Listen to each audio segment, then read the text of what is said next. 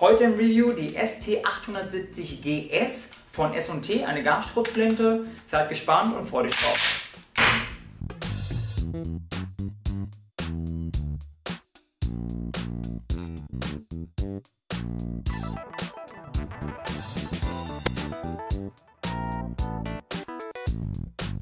Heute wird genau gesagt die ST870GS vorgestellt. Es gibt davon aber auch eine Long-Version, die dann hinten nicht mit S endet, sondern mit L.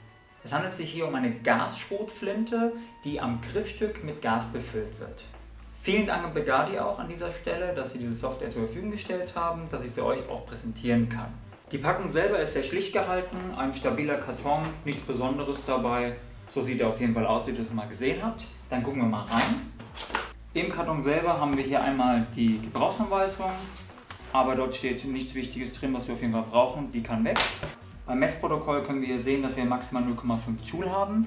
Eigentlich soll diese ähm, Gasschrotflinte mehr haben. Deswegen weiß ich jetzt auch hier nicht, mit welchem Gas gemessen worden ist. Daher müssen wir es einfach auch gleich selber testen. Nachdem wir den Schaumstoff weggenommen haben, haben wir hier einmal die Schrotflinte. Wir haben hier ein paar BBs, drei Patronenhülsen und einen kleinen Speedloader. Wir fangen von vorne nach hinten an. Ganz vorne haben wir eine Kappe, die wir abschrauben können.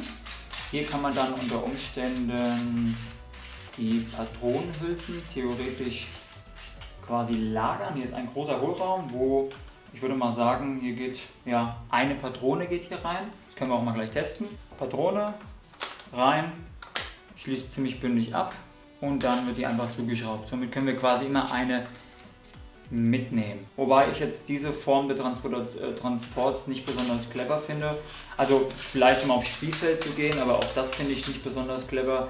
Ähm, ich würde hier niemals eine Patronenhülse reinmachen, um dann auf dem Spielfeld das Aufschrauben raustun und dann durchladen. Dann haben wir vorne einen kleinen Handgriff. Um diesen zu öffnen, braucht man ein bisschen Kraft, beziehungsweise muss man schauen, in welcher Position man das sucht. Wenn man jetzt ohne Repetieren den, ähm, den Handgriff lösen möchte, dass er nach unten geht, muss man das hier festhalten, ziehen und nach vorne klippen. Dann ist auch noch kein Schuss und sind noch nicht durchgeladen. Um dann nachzuladen, wird einfach der Repetiervorgang gemacht, nach hinten gezogen, bis es knackt, das merkt man dann auch, ganz nach vorne und dann kann abgedrückt werden. Was auf jeden Fall auffällt ist, durch den Repetiervorgang, hier läuft Metall auf Metall, der untere Bereich, hier schabt sich schon die Farbe ab, das sieht man auf jeden Fall. Ich glaube auch auf Dauer wird es relativ schnell hier gehen mit der Farbe. Das ist aber nicht unbedingt tragisch, es ist eh eine Schrotflinte, die muss repetiert werden und ein bisschen Used Look hat noch nie geschadet. Beim Repetiervorgang gibt es ein kleines Gimmick. Wenn man komplett repetiert, achtet man auf das Schlussfenster. Das geht auf und wieder zu. Soll jetzt so ein bisschen nach der Realität, äh, die Realität widerspiegeln vom äh, Ladevorgang. Normalerweise würde man jetzt die Hülse sehen. Hier ist es aber folgendermaßen. Nach hinten repetiert, geht hier hinten das Fenster komplett auf und hier könnt ihr nämlich von 3 auf 6 Schuss wechseln. Wenn ihr den Schieber nach zu mir zieht, nach hinten raus, habt ihr drei Schuss, klickt ihr das, nach vorne habt ihr 6 Schuss. An Markings haben wir hier vorne Begadi, den Importeur, Kaliber 6 mm, das FM5-Eck, weil wir hier eigentlich über 0,5 Joule haben. Und hier nochmal die Beschreibung, eine ST870GS.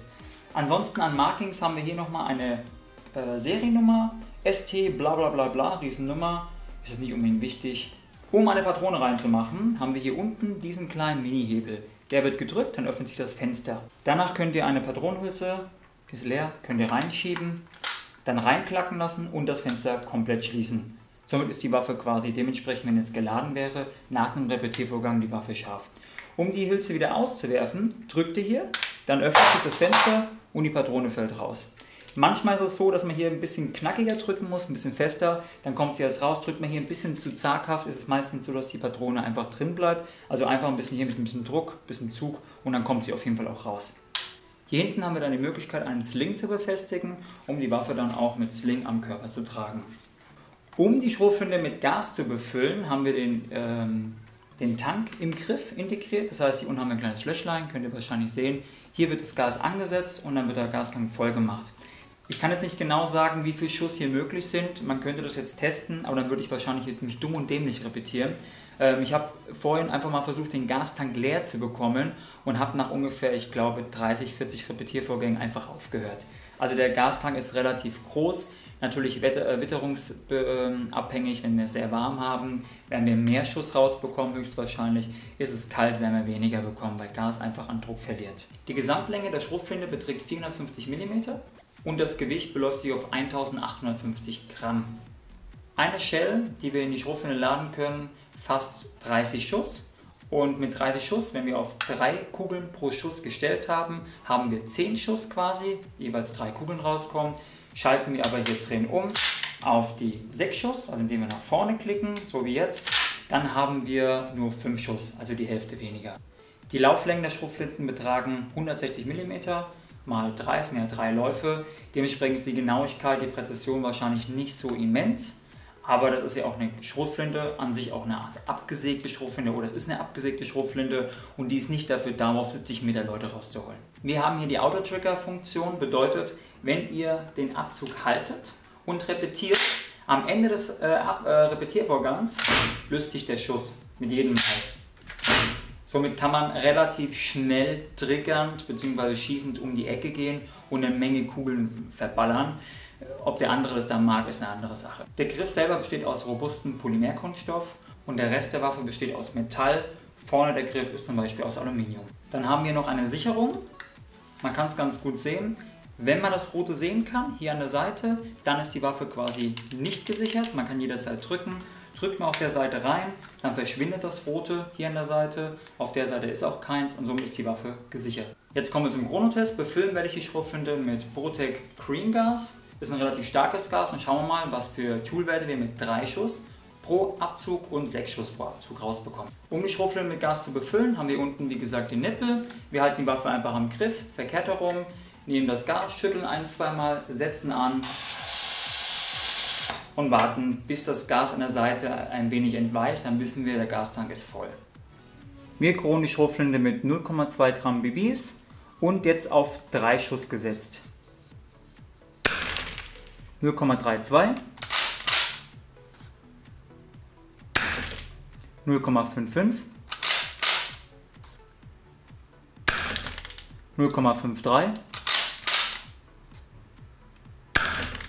0,52, 0,51, 0,53 Nun kronen wir die Schrotflinte mit 6 Schuss pro Abzug und wieder einem vollen Tank mit Green Gas. 0,53 0,32 0,47. Wie ihr sehen könnt, hatten wir die Joule-Werte von durchschnittlich 0,5 Joule mit 3 oder auch 6 Schuss ähm, pro Repetiervorgang. Wir hatten jetzt unten 22,2 Grad. Denkt immer dran, das ist Gas. Es ist sehr, sehr abhängig von der Schulstärke, wie die Temperatur ist. Wenn ihr auf dem Spielfeld seid, wo wir 30, vielleicht sogar mehr Grad haben und die liegt vielleicht in der Sonne, dann wird das Gas warm und dadurch bekommt es mehr Druck. Dann werden aus 0,5 auch mal ganz schnell 0,7. Das ist eben das Tückische bei Gas oder beziehungsweise das, was man nicht vorhersagen kann, weil es einfach temperaturabhängig ist. Ähm, wir hatten es jetzt mit dem Green Gas gemessen, um die 0,5 Joule zu bekommen. Wir haben auch nochmal hier das Lowlight Gas benutzt um ähm, nochmal versuchen, was man weniger erreichen kann. Dann hatten wir 0,35 bis maximal 0,4 Joule. Dann sollte auch im Sommer bei sehr heißen Tagen, wo wir vielleicht dann 30 Grad haben, auch die 0,5 nicht geknackt werden. Natürlich ist es möglich, hier auch stärkeres Gas reinzumachen. Ähm, ihr könnt hier Nuprol 4.0 reinmachen, theoretisch. Ob die Systeme und wie weit die Dichtung das mitmachen, kann ich hier keine Garantie geben, deswegen würde ich es lassen. Ich würde bei Green Gas bleiben, das reicht auch locker aus auf die Plane gezielt. Ich werde gleich vergewaltigt. Dann ziele ich mal vorne auf den Boden. Diese Plane Alter. getroffen. Ja. ja, aber die eine Kugel wäre ja fast da oben weggegangen. Ja, ja. Auf jeden Fall 0,20er funktioniert nicht. Gewicht ist zu, zu wenig. Da kommen jetzt nur 25er rein. Hm, jetzt 0,25, ne? Von hier, ich ziele auf die Plane. Ziele, guck mit der Kamera auf die Plane, ne? Ja. Oh. Ziehen aber. Ja. Da könnten sogar wahrscheinlich 0,30 sogar rein. Die hast du aber nicht ja. mehr dabei. Machen wir mal auf 6 Schuss. Gucken, was passiert. Jetzt sind ja noch drei drin. Mal tiefer gezielt, dann geht's aber. So, jetzt 6 Schuss. Ja, bei 6 Schuss. Dann haben wir kein Overhop. Ja. Da geht die Party wieder runter. ja. Ja, ist mehr leer. Was ist denn, wenn du 020er mit 6 Schuss machst? Habe ich probiert, selbe Ergebnis, auch riesen Overhop. Hältst Ja. du so? Hm? Hältst du so? Schon ein geiles Ergebnis, ne? Wenn ich jetzt hier Gude reinmache, ne? Ein bisschen. Brauche ich auch keinen Tracer und so, ne? Soll ich ausmachen? Was? Äh, habe ich gerade einen Lauf geguckt? Nein. Na? Oder lustiges? Äh, von meinem Review.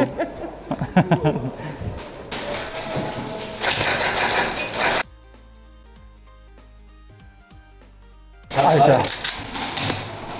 Nice Schnotze, Junge, was ist denn los hier? Hit. Hallo. ja, er ist nicht rausgegangen.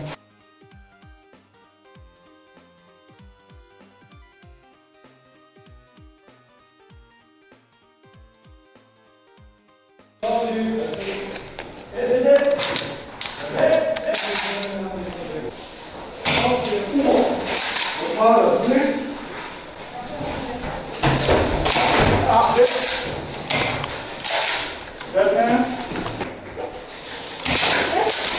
hab ihn. Wahrscheinlich. Hit! Sauber, Flickmodo. Schuffel, der macht ja mega Laune. Geiler Scheiß. Ah, die ist so geil. Echt? Ja. Kommen wir nun zum Fazit. Pros und Contra. Pro Nummer 1.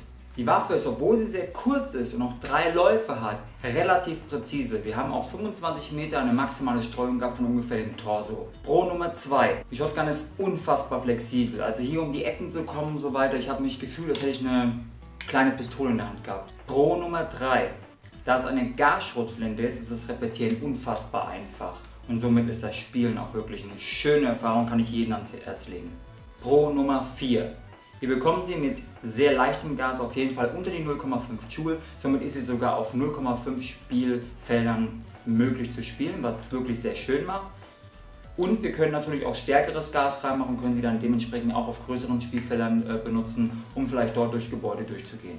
Nun kommen wir zu den Kontras. Kontrapunkt Nummer 1. Obwohl die Shotgun relativ kurz ist, wäre es trotzdem schön gewesen, wenn wir hier eine Rail drauf gehabt hätten, um vielleicht noch mal ein kleines Red Dot oder Mikro Red Dot drauf zu machen, um damit besser zielen zu können. Kontrapunkt Nummer 2. Der Gastank ist relativ klein. Wir kriegen hier ungefähr drei Shells durch, dann muss mit Gas nachgeladen werden. Sonst ist der Druck zu gering und die Kugeln haben keine starke Wirkung mehr und der Gegner wird sie auch nicht mehr spüren. Abschließend kann man folgendes zu dem Produkt sagen. Die Waffe kostet 174,90 Euro und für diesen Preis bekommt man wirklich ein tolles Produkt. Es macht unfassbar viel Spaß zu repetieren, damit zu spielen. Die Nachteile mit dem Gastank kann man beheben, indem man einfach hier mit HPA arbeitet. Dann ist natürlich der Gastank dementsprechend überflüssig und man, läuft über, äh, man spielt über einen Schlauch. Ich persönlich würde mir so eine Shotgun auf jeden Fall zulegen, wobei ich ein sehr schneller Spieler bin und der Nachteil mit dem kleinen Tank ist schon vorhanden. Sehr zu empfehlen ist diese Shotgun auch unter den Umständen, wenn man sie als Backup nutzen möchte, weil drei Shells, die neben einfach am Körper irgendwo befestigt, man spielt, man geht auf engen Raum rein und nimmt dann die, da sie auch wenig Joule hat. Ich hoffe, euch hat das Review gefallen. Wenn ihr Fragen habt, schreibt es bitte in die Kommentare. Ansonsten würde ich mich über ein Like freuen und dann sehen wir uns vielleicht irgendwann mal auf dem Spielfeld mit dieser schönen, wunderschönen Waffe. Yeah.